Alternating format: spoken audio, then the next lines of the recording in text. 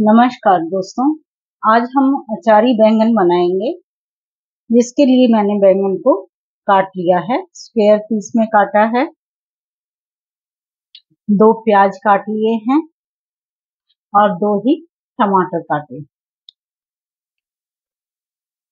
अब हम मसालों को रोस्ट कर लेंगे। दो चम्मच जीरा लेंगे। दो चम्मच ही धनिया ले लेंगे। एक छोटी चम्मच अजवाइन लेंगे। आधा छोटी चम्मच मेथी ले लेंगे। दो चम्मच सौंफ ले लेंगे।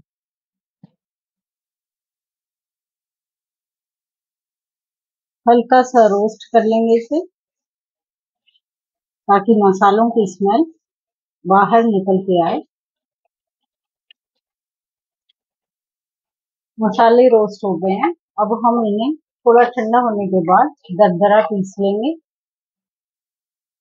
मसाले मैंने दरदरे पीस लिए हैं।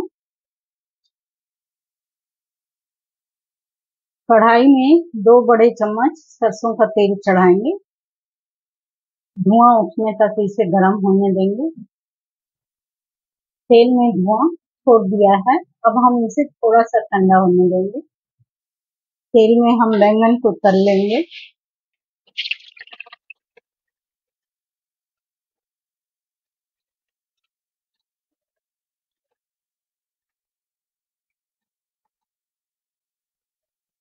बैंगन सॉफ्ट हो चुके हैं, कलर भी चेंज हो चुका है, अब हम इन्हें निकाल लेंगे।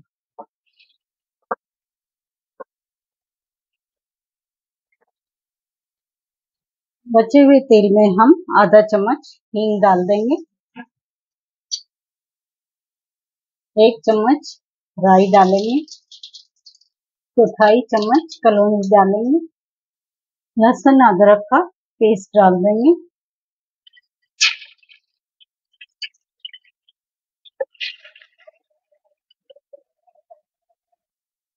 अब हम प्याज डालकर भून लेंगे।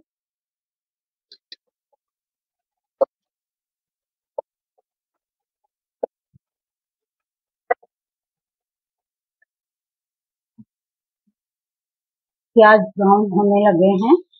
अब हम इसमें कश्मीरी मिर्च डाल देंगे, एक चम्मच।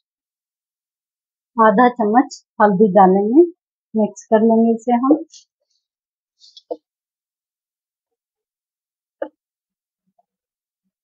हल्दी थोड़ा भुनने के बाद टमाटर डालेंगे।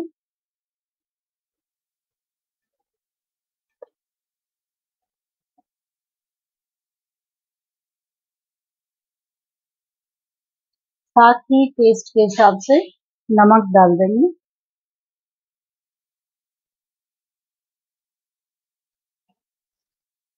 एक मिनट के लिए टमाटर को भी भून लेंगे हम।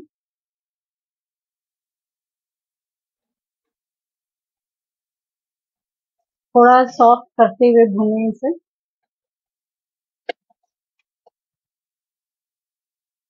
खड़े मसाले जो हमने पीस के रखे हैं वो डाल देंगे।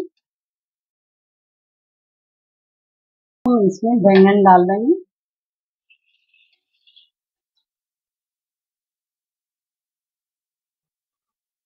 सभी मसाले बैंगन में लपेट लेंगे।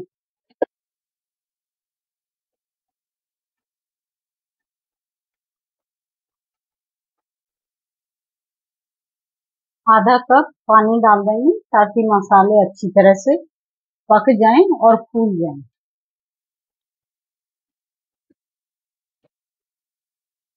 सब्ज़ी को हम एक मिनट के लिए ढककर पका लेंगे। सब्ज़ी हमारी पक चुकी है।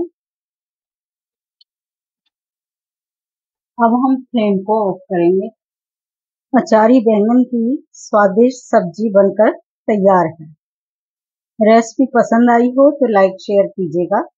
चैनल को सब्सक्राइब कीजिएगा। धन्यवाद दोस्तों।